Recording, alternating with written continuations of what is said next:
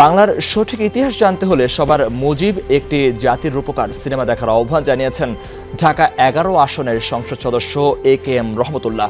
সন্ধ্যায় রাজধানীর যমুনা ফিউচার পার্কের ব্লকবাস্টার সিনেমা হলে ঢাকা এগারো আসনের স্থানীয় নেতাকর্মীদের সাথে নিয়ে মুজিব একটি জাতির রূপকার সিনেমাটি উপভোগ করেন।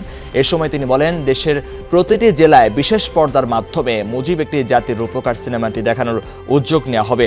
দেশের সকল শ্রেণি পেশার মানুষকে সপরিবারে সিনেমাটি দেখার আহ্বান জানিয়েছেন এ কে এম রহমতুল্লাহ। একই সাথে সিনেমাটির একাধিক শো চালানোর জন্য যমুনা ব্লকবাস্টার কর্তৃপক্ষকে ধন্যবাদ জানান তিনি। আমার দেশের মানুষই তাকে হত্যা করছে। এটা খুব মর্মান্তিক লাগছে এই চিত্রটা। আমার কাছে খুব ভালো লাগছে। আমরা একটা সত্যিকারের ইতিহাস জানতে পেরেছি।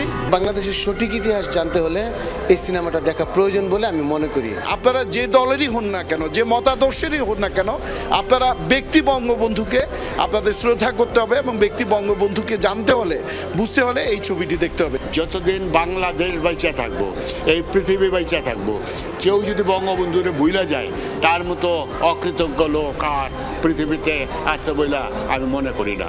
কারণ তার মতো লোক নেতৃত্ব না দিলে এই দেশ এত তাড়াতাড়ি স্বাধীন হইতো না।